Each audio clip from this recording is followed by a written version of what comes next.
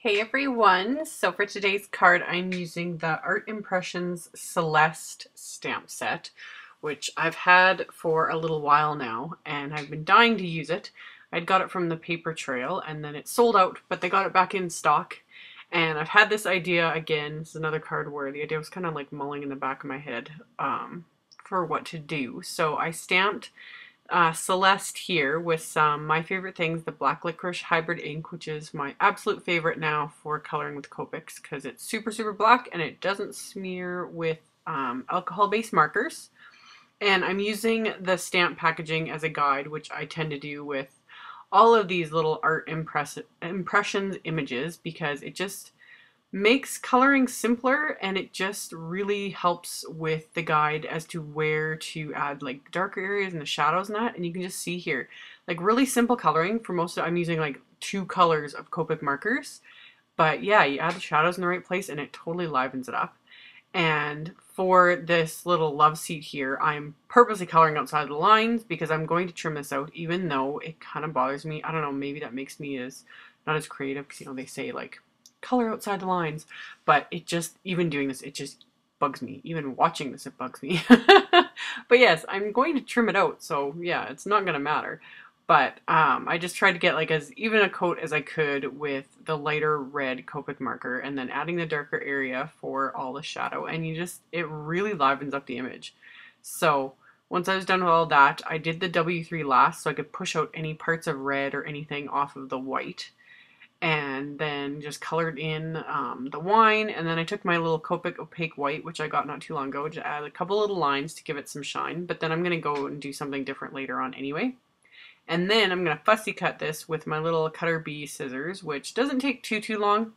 Um, yeah it's just kind of a little bit finicky but an image like this isn't too difficult to trim out and then once it's all trimmed out, I just take the side of my distress marker. I chose a distress marker over just using like say a black Copic marker because I didn't want, if I used a Copic, I didn't want it to possibly seep into the edges here and like push away any of the other Copic coloring.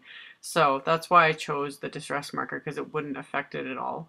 Plus it's got this super fine um, tip so it's easier to cover all the edges. And you see it just finishes off anything you fussy cut it just covers up all that white edge and really makes it look crisper. So set that aside and then I'm just grabbing some white cardstock and my um, my favorite things this is the um, and Wildcat stencil and I'm pretty sure I airbrushed the last time I used the stencil I did actually the exact same thing I think I did Copic airbrushing over it but I really like the look of it so and it's perfect for this card so I just taped it down. I just have this scrap of cardboard that I use when I spray and use airbrush, that sort of thing. Um, I've had people ask why I don't have um, the actual airbrush machine from like the compressor from Copic. Mostly because I don't airbrush that often. Um, up here in Canada, they're so expensive and then the shipping on top of it, I just haven't been able to justify it when I literally airbrush every once in a while, even though when it's fun to do. Someday I probably will own the compressor, but I just, right now, I don't go through a ton of the cans. So for the first piece of cardstock, I airbrushed three different shades of brown, just a lighter, a medium, and a darker. And then I had airbrushed a second piece here, which is the lightest. Um, I'm going to use that on the inside of the card. But the darker piece I want to use as my card base here. So get everything kind of lined up how I want it. Um, this little sentiment comes with the set, which totally makes this image. It just gives me a good giggle. so I use my stamp positioner because I want to get it get it lined up properly here on this panel of cardstock. So get it all lined up and then I'm going to ink it up again with the black licorice hybrid ink and then stamp it onto the corner. And then for the image that I had fussy cut, I'm going to flip that over and I'm just going to add some foam tape to it. So using my scissors, I'm going to trim down um, some little tiny pieces just to go behind her hand here, her feet, and then the head so that it doesn't get uh, bent up against the rest of the card. So once I've got that into place, I'm going to um, pop some more foam tape on the back of the main piece, and then I'm just going to adhere it to a white cardstock base. Um, and all the white cardstock, by the way, is uh, the CC Designs, the Copic Quality 110 pound. Um, I love that for my card bases, and then I use it for pieces like the Celeste image there for coloring that I'm planning on cutting out and popping up. I just like how sturdy it is. So I popped that up with some foam tape onto the card base. I kept everything simpler since I went so wild with the Wildcat stencil and, you know, the crazy hot red love seat. I just thought it all worked. and the inside, I just adhered this piece that I had airbrushed and then you can just write over that. Um, I didn't add any sentiments or anything else, just again, kept it fairly simple.